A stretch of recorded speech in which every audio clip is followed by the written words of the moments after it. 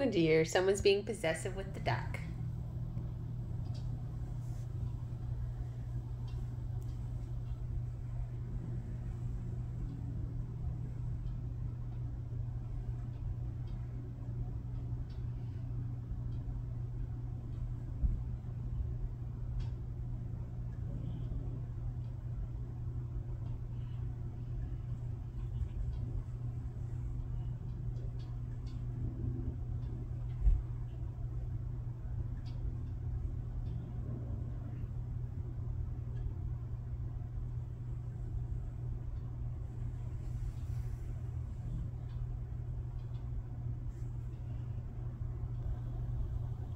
Apparently that's your duck.